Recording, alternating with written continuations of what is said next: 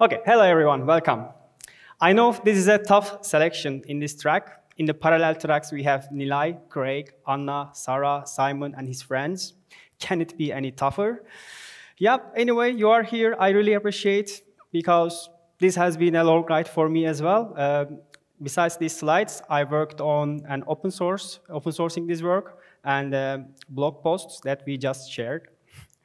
Um, it means a lot to me, um, and I hope you will enjoy it. Let's start with a simple question.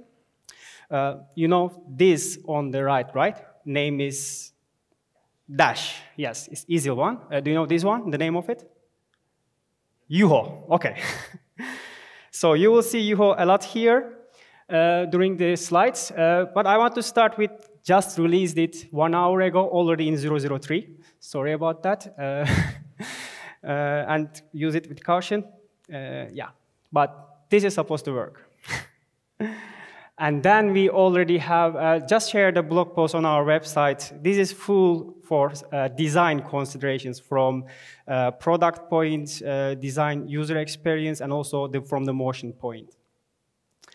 Okay, I'm Çağatay. I'm Flutter competence lead at Wolt, also a Google developer expert for Flutter and Dart. Although I'm giving this talk alone today, I would like to mention that what I'm going to talk about is a teamwork. Around three years ago, we started working on building this UI component for Flutter, because we have the same component in Android and other apps. Uh, we started this with our motion designer, Masha, and product designer, Scott. And in these two years, the modal sheet that I'm going to present now has been evolved to solve different use cases. And we scaled our app. We needed more use cases to support. And it will be a long talk, last talk of the day. Let's start without further ado. And today's topic is the modal sheet, the modal sheet, Wolt modal sheet. Who has seen my slide, uh, tweets about this modal sheet? Anybody saw my tweets? I've been okay because I needed to try hard to get more people here considering the competition. Great. Uh, okay, I will present this UI component from two aspects, design and development. We will start with the design considerations, motion design, and finally implementation details. Let's start with design. Uh, do we have designers here or magical developer designer? Okay, great, magical developer designers. Uh, let's see if you will find the design part interesting. Before moving forward, I believe it is important to be on the same page. Let me clarify what I mean by modal. Modal is a UI component appearing on top of the app content. It blocks the previous screen and requires a user interaction to continue. Now let's talk about the common app patterns that most apps follow. First, a page is a modal that replaces the entire screen. It can be pushed from right, left, bottom, depending on the context. And then we have modal sheets that are used to display extra content or options overlaying over the current screen. They are ideal for single point of interaction. Users can do something with the bottom sheet or dialog, close it, and they are back in the screen where they were before, so they improve the user experience while staying connected to the current screen. And the final one is, at Wolt we have a middle ground between these two. So we want to allow modal sheets to have functionality beyond static single views. This is ideal in complex screens. We have an everything app. it's complex. Uh, okay, everything app is not in Flutter, but and other apps are complex as well. uh, well, modal sheets uh, allow interacting with individual flows inside the screen. This is an example, real life example where we heavily use in our app. Uh, when order comes in, user is able to confirm the estimate that is given to them, calculated by our backend. And also they can um, um, press the tab button to modify the estimate. In this case, we push them to the second page of the bottom sheet. They can change the time there or realize that the suggested estimate was correct. They go back, and then they're in the first page.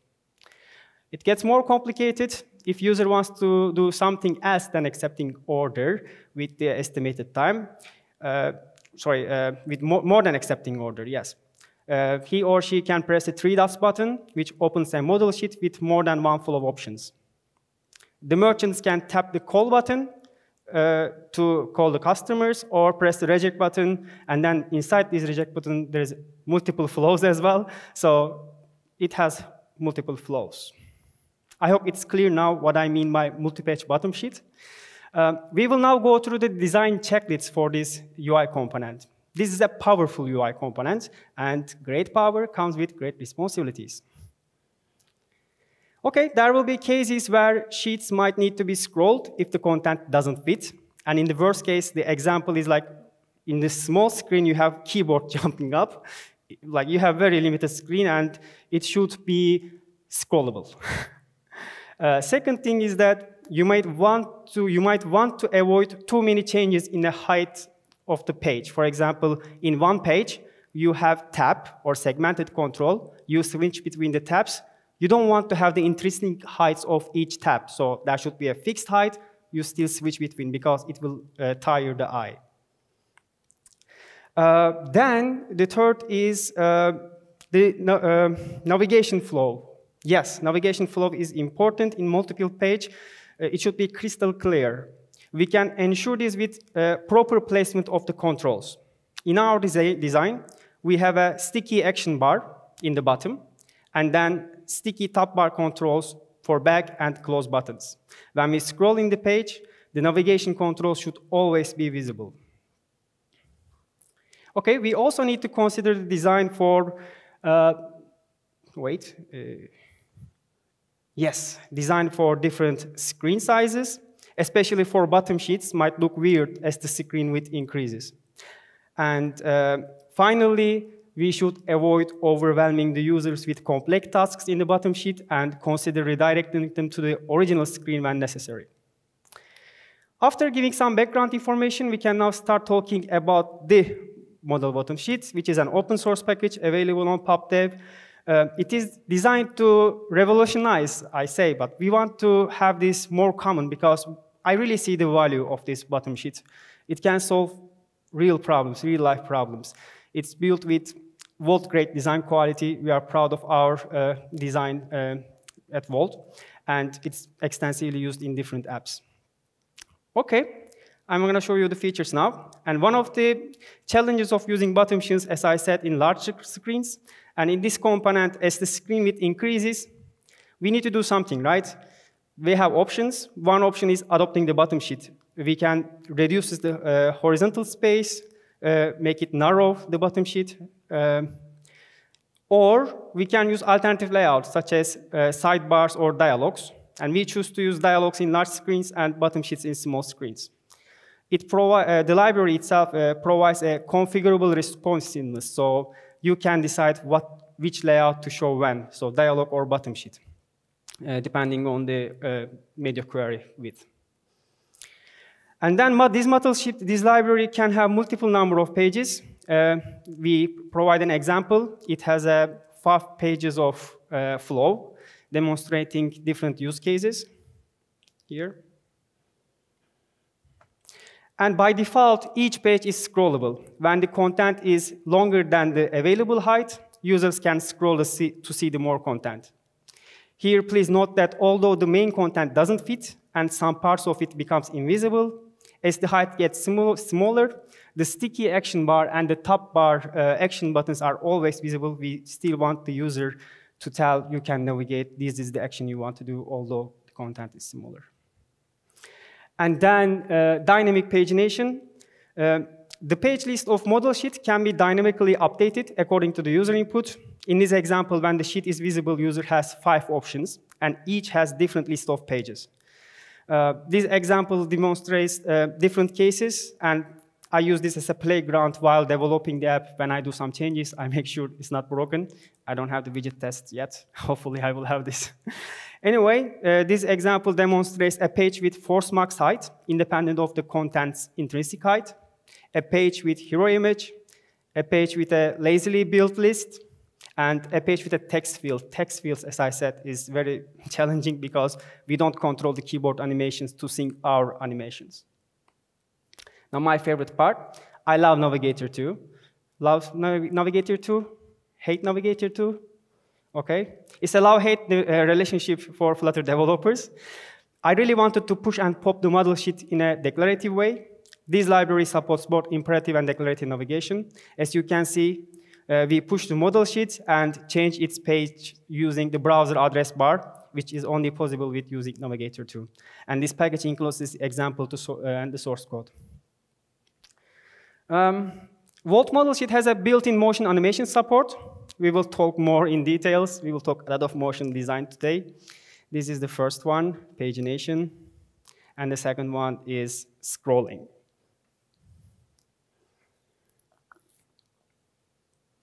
Okay, all the components in this modal sheet play a role, important role, giving the context to the user, flexibility to navigate, and explicit action to perform. This should be clear. There is top bar, which serves as an anchor for the sheet. It contains close and navigate back actions. And when the page is first visible, uh, the background of the top bar is transparent. It becomes more visible when the user starts scrolling, it also has an optional title. It becomes visible when the main page title is no longer visible. We have sticky action bar. We call it SAB, like FAB. Uh, uh, SAB is a clear next step for the user. So it is sticky in the bottom, elevates above, and we can add gradient to make it readable, uh, the, the, the, content behind. And we have an optional hero image at the top of the main content to grab the viewer's attention when, the, when they see the uh, page first, they need to understand. This helps the user to give the context about the page. And we have optional page title above the main content. The page title also summarizes what this page is about. Then, of course, the main content that delivers valuable information. It can be scrolled and lazily built. Okay, who uses Wolt app here? Wolt app users? Nice. You probably noticed that we put a lot of effort to attention. So we put attention to details. Yeah, let's put it this way. Uh, and motion, you see lots of motions in the app, is a fundamental element when building our product. It's not an afterthought, I want to mention. So in fact, it is essential building block for creating a best of user experience. But what is motion design? It is associated with animations that add delight and help the user notice something important on the screen. And these animations are not only some visual treats, uh, they play significant part in shaping the brand image and connecting with users on emotional level. Emotional level is important. and the benefit of motion design is not recognizable at the beginning, and in fact, it's challenging sometimes when new team jumps in and they you need to help to, to, um, to understand the, uh, and prioritize the work needed for motion design. But one thing more sure, motion design has more broad impact. It significantly contributes to the user experience, and it's part of the brand image and connects the users on a feelings level, as I said, emotional level. And this is a level that users usually notice and note. Sometimes we have interviews when hiring, and they say, I use Wolt app, the UX is great. Design is great. We hear this a lot. And motion design also serves as a cognitive aid. So it guides the user through the UI and reduces the cognitive load. Makes uh, easier to understand the most complex products and uh, complex flows.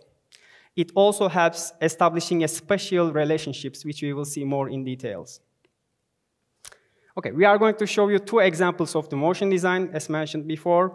One is scrolling in page, and the other is navigating between uh, pages. Okay, so here we have a page, one page with a hero image, and without the hero image, the other one. And when the content hits top of the bottom sheet, the top bar starts appearing. Here we show the same title, but in a smaller scale on the top bar.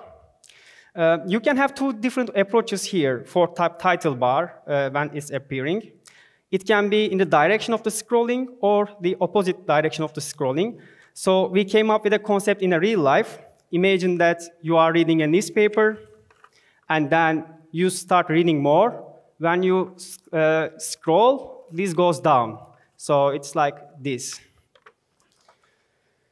Uh, and then the next page is the pagination, which is a sequence of screens that the user goes one by one. And uh, naturally the movement is sideways.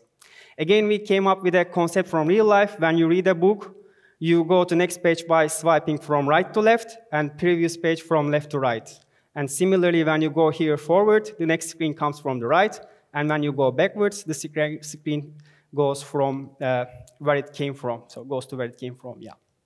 But it's important to note that the top bar elements here uh, and the sticky action bar, they don't move. They stay persistent, and their visibility is only affected with the opacity change.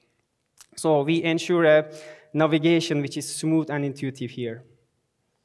Okay, design talk, enough. Maybe some of us got bored. but uh, was it interesting from development point? Are we interested in design? Okay. no. But um, from the implementation detail, let's start with the root concept. We have the material app in our Flutter app. It is the root widget which provides various functionalities, including navigation. And Material app has a router widget in it. It is introduced in uh, Navigator 2 to decouple the navigation logic from the UI logic. And then we have the router widget in the Material app, which manages and uh, provides more control over the navigation stack. Um, then um, router widget has a navigator widget, and the navigator widget is responsible of managing the route objects. What is a route? Route represents a screen or a page. And then this navigator widget has an overlay widget which provides independent layer on top of the other widgets, of course, and it can be used to display visual overlays. Uh, finally, routes use overlay entries to represent each screen on the overlay stack, and each route have one or more overlay entries. Why I'm talking about routes? because although modal sheets overlay on the originating screen, you still see the originating screen, when working with modal sheets, many people actually uh, are confused because they forget that they're dealing with a route that is pushed to the navigation stack. So they want to access ancestors of the originating widget. They can't because it's a different overlay entry, different route.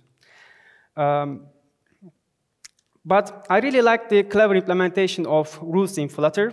We have route is abstract, and then there is overlay route, it's an abstraction over the interaction between navigator widget and the overlay widget.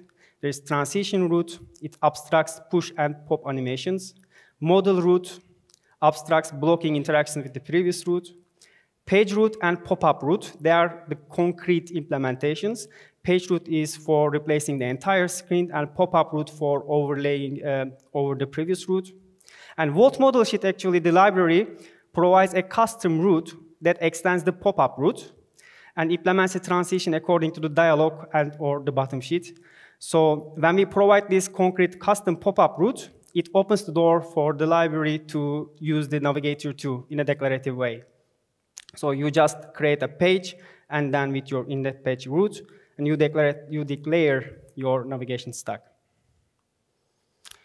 Um, when building the page, here, our page components, uh, we map the Wolt modal sheet page class to a widget.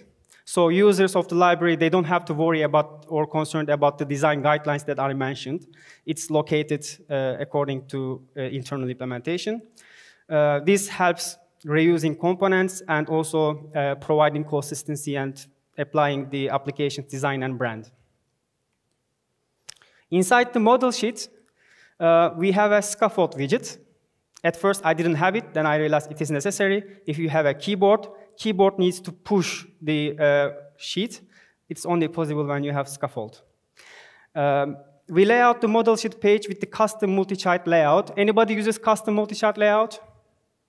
Okay, this is not commonly used, but it is really uh, useful and it gives flexibility so that you don't need to go into the render layer. It's, you, stay, stay, you still stay in the widgets layer, and then you can do the things that render objects do, staying in the widgets layer. How does, uh, how does it do? We will see in the next slide. Uh, we do the layout and positioning in this uh, custom chart layout. We provide minimum and maximum uh, page height and modal page type. It can be bottom sheet or dialog, and minimum or maximum dialog width. Now let's see the custom multi-child layout implementation details. So in this case, the children of the custom multi-child layout are the barrier widget and the uh, sheet content. As we all know, you can repeat after me, constraints go down, sizes go up, and parent says the position. This is the motto of Flutter. And looking at the delegate of the custom multi-child layout, this tells a lot about what this motto means. The first method we override inside the delegate is the getSize method. In this method, we, the parent of the custom multi-child layout sends its constraints, And then the custom multi-child layout uh, tells its size. So we can set the size of it. It's usually, actually by default, uh, maximum size, the biggest size. And in the delegate, we can decide of the size of the uh, child layout widget uh, by overriding this method. Now we override the perform layout method. In this method, custom multi-child layout uh, itself lays out its children one by one. Once we lay out a child, the child passes its size to its parent, which is custom multi-child layout, and then we use the child size information for positioning. So again, the motto was uh, constraint go down, size go up, and parent sets the position. Uh, finally, there is this should relayout, relayout method, which prevents recalculation of this size information and po uh, positioning. Uh, sorry, yeah. It prevents the layout calculations. So it compares the old widget and the current widget. If they are different, then the calculation is done. Otherwise, we don't calculate this again if no matter uh, in the next uh, frames. Okay, now let's see how Masha hands over the motion specs to developers and how developers makes Masha happy. Okay, I must admit that in the beginning, this looks scary, and I'm sure you won't see this in detail, but this is in the blog posts. It's not that scary, and it's fun, in fact. Uh, Masha knows that she builds the specs for engineers, so she uses variables instead of numbers to represent the height of the components. Here you see the scrolling in pixels in the x-axis. And in, uh, even that, for example, in zero, it is the initial position. And as we scroll in the uh, x-axis, it shows the change in the uh, look. So in the y-axis, you see the information how each component scales, translates, and changes opacity at a particular offset. Let's now focus on the motion specs for the hero image only, because we also have the top bar uh, uh, motion specs. Uh, first, the image scales from 1.1 when the image is fully visible, and then it will scale down to 1 as we scroll. The total change is 0.1. And considering the ratio between the total distance and current scroll distance, we can calculate the scale value at a particular scroll offset. So then the second change is opacity. Uh, opacity starts changing in the halfway from 1 to 0. With a similar calculation, we can again find the opacity value at a particular offset. And motion, change, uh, motion design is about changing translation values, scale, and opacity, and the rotation of the components. So these are all handled in the paint phase of the rendering pipeline. And we do, again, with this uh, uh, with the render objects, we can do this. But we still want to stay in the widgets layer because everything is widget. Flutter wants to say this because they want us to stay in the Flutter widgets. It's simpler than render objects. So Flutter provides a flow widget here, which delegates the paint phase of uh, the rendering pipeline to its delegate, like we have custom, uh, custom, child, uh, custom multi-child layout. And then inside this method, we calculate the scale and opacity values according to the scroll position there is also a should, should repaint this time. It was should relayout in the previous one. And in this method, we do the painting only when the delegate parameters are uh, different compared to the previous one. If the scroll position is different, hero image height is different, top bar height is different. Now let's see how we implement the pagination animation.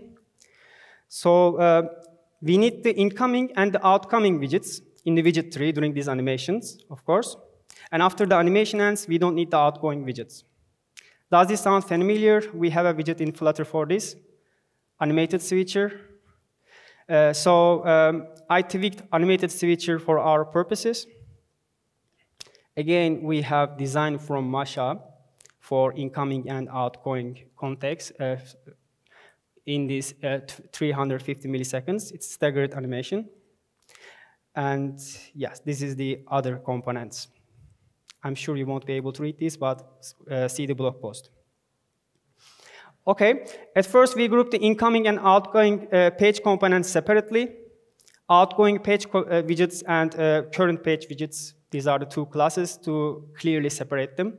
And each page component is wrapped with an animated builder because every specific component has its own animation uh, specs. So we have uh, opacity change, sliding going on, and scale, no, scaling was in the top bar. Yeah. And transitions of each component happens in this animated switcher stateful widget. When the widget is built for the first time, we add the page without animation. And in the next builds, if the updated widget has a different page index, we determine whether the uh, navigation is backward or forward, and then add the page with animation in did update widget method.